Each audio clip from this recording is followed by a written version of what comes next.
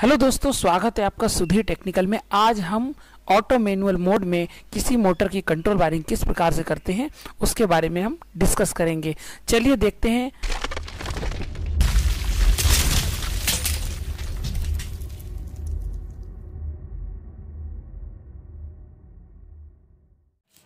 चलिए शुरुआत करते हैं। आ, ये हमारा पीएलसी हो गया। पीएलसी में दो दो दो टाइप के मॉड्यूल होते हैं। एक इनपुट मॉड्यूल होता है, एक आउटपुट मॉड्यूल होता है। इनपुट और आउटपुट। ये इसमें डिजिटल भी होता है और एनालॉग भी होता है। हम यहाँ पे डिजिटल मॉड्यूल का उपयोग करेंगे, क्योंकि हमको बिट बाइट के फॉर्म में किसी भी सप्लाई को देना है और लेना है। एनालॉग का प्रयोग हम टेम्परेचर वगैरह किसी भी कंटिन्यूस सिग्नल्स को लेने के लिए किया करते हैं। तो अभी हम पीएलसी पोर्सन के बारे में बहुत ही शॉर्ट फॉर्म में जानेंगे और उसके बाद अगले किसी, अगले वीडियो में हम पीएलसी के बारे में आपको पूरा बताएँगे। पीएलसी वायरिंग कैसे होती है पीएलसी एक्चुअल होती क्या है। अभी हम शॉर्ट फॉर्म में अब हम आपको सर्किट के बारे में बताएँगे ऑटो और मैनुअल में कैसे वर्क करता है। सबसे पहले यहाँ पे जो आउटपुट है पीएलसी हमको किसी भी स्टार्टर को ऑन करना है तो उसके लिए हम पीएलसी का आउटपुट जो जनरेट होगा, ये पीएलसी का जो आउटपुट है, ये एक रिले में जाएगा। ये आर वन रिले है।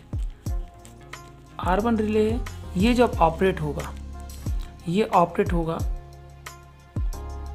कॉमन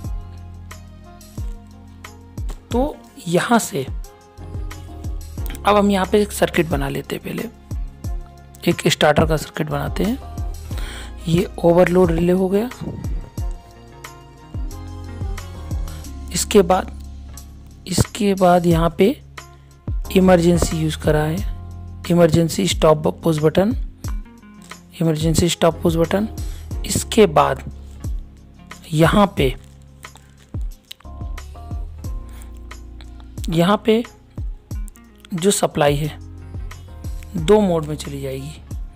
एक तो ऑटो में, दूसरा मैनुअल में। यहाँ पे ऑटो में, जो हमारी ऑटो में सप्लाई जाएगी, ये, यहाँ पे जो हमारी सप्लाई सप्लाई है, ये R one relay R one relay के एनओ से होके जाएगी। और यहाँ जो दूसरा कांटेक्ट गया है, ये मैनुअल के लिए आया है। माफ़ कीजिए, इसको हम कट करते हैं। ये मैनुअल के लिए आ गया है। अब ये जो मैनुअल है मैनुअल मोड पे और इसके साथ ऑक्सिलरी कांटेक्ट ऑक्सिलरी कांटेक्ट ये मैनुअल ये ऑन के लिए ऑन पुश बटन यहाँ यूज़ करेंगे, और यहाँ ऑक्सिलरी कांटेक्ट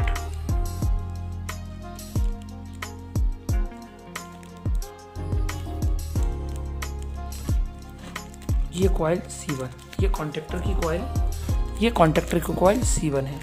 अब हम इसको समझ लेते हैं।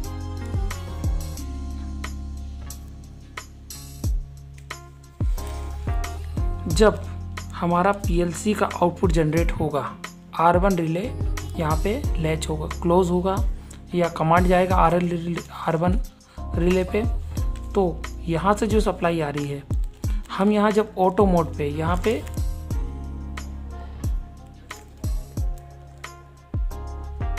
two way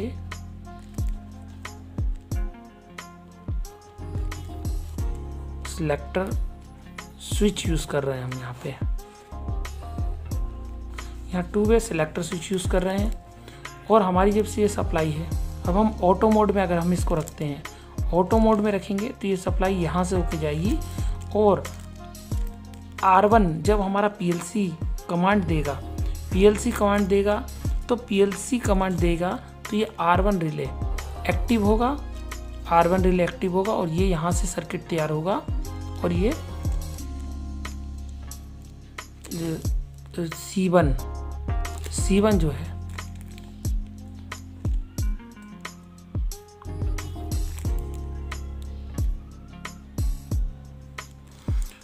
यहाँ पे आर वन इससे कमांड आएगा पीएलसी के आउटपुट से, ये आर वन सिग्नल आएगा आर वन यहाँ पे कांटेक्ट बनेगा और ये कमांड यहाँ पे कॉन्टेक्टर में जाएगा और यहाँ पे सी वन जो है ऑक्सिलरी कॉन्टेक्ट वो भी इसके साथ होल्ड हो जाए, जैसे ही होल्ड होगा ऑक्सिलरी कॉन्टेक्ट में सप्लाई जाएगी और ये होल्ड हो जाएगा। इस प्रकार हमारा मशीन ऑन हो जाएगी। अब हम ये ये भी बता दें कि पीएलसी आप ये जान रहे हो कि पीएलसी में आउटपुट कमांड कहाँ जनरेट होगा। आउटपुट कमांड किसी भी एचएमआई या स्कैडा जो हम पीसी से पीसी से कमांड देंगे। वो हम पीएलसी में कमांड देंगे। पीएलसी में कमांड देंगे तो पीएलसी प्रोसेसिंग के बाद ये आउटपुट जनरेट करेगा। ये आउटपुट जो जनरेट होगा, ये जो आउटपुट जनरेट होगा, ये एक रिले को कमांड देगा। जो ये रिले ऑपरेट होगा तो ये जो रिले है रिले रिले रिले का कॉन्टेक्ट ये है। इस रिले का कॉन्टेक्ट ये है। और जब हम ये ऑटो मोड पे रखेंगे, जब ऑटो मोड पे रखेंगे तो ये ऑन होगा, ये रिले यहाँ कमांड देगा और ये यहाँ सर्किट कंप्लीट होगा और ये होल्ड हो जाएगा। इस प्रकार यहाँ पे अगली कॉन्टेक्ट होके ऑन हो जाएगा। लेकिन अभी हमारा यहाँ है, ये है कि हमारी पीएलसी को कैसे पता चलेगा कि हमारी ये मशीन चालू हो गई? अब हम ये पता कैसे चलेगा? इसके लिए हम यहाँ पे एक और सर्किट हम यहाँ बनाएँगे।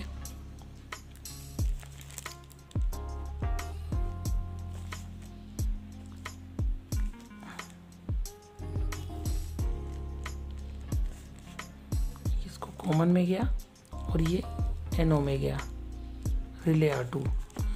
और यहाँ पे यहाँ पे ये कॉयल ए वन थी, यहाँ पे ए वन और A to.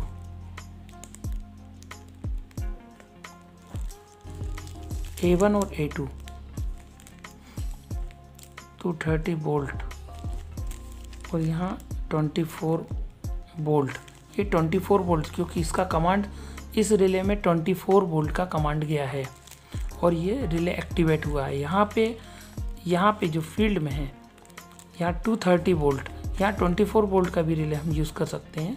Twenty four volt का भी रिले यूज़ कर सकते हैं तो यहाँ ट्वेंटी फोर वोल्ट का कमांड भी दे सकते हैं तो ये ए वन ए टू तो यहाँ पे एक है, एक कॉन्टेक्ट और बनेगा, जो आर टू होगा।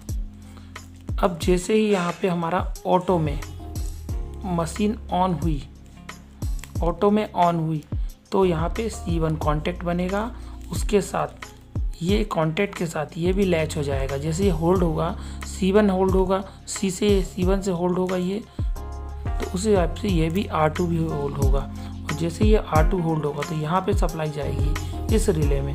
ये रिले जैसे ही एक्टिव होगा, ये रिले एक्टिव होगा तो D I digital input signal जाएगा और ये इसको बता देगा पीएलसी को कि हमारा ये ये सिस्टम ऑन हो चुका है, ये सिस्टम ऑन हो चुका है। और अब हम मैनुअल मोड में देखते हैं। अगर हमारा मैनुअल मोड में ऑन हो गया तो एज ए डुअल स्टार्टर की तरह होगा। डुअल स्टार्टर में, यहाँ पे हम ऑन ये यहाँ से कॉन्टेक्ट पूरा कट जाएगा।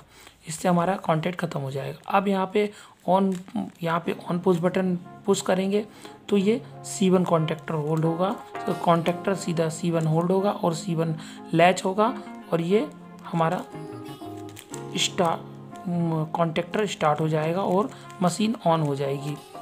इस प्रकार हम किसी भी मशीन को ऑटो और मैनुअल दोनों मोड में ऑपरेट करते हैं।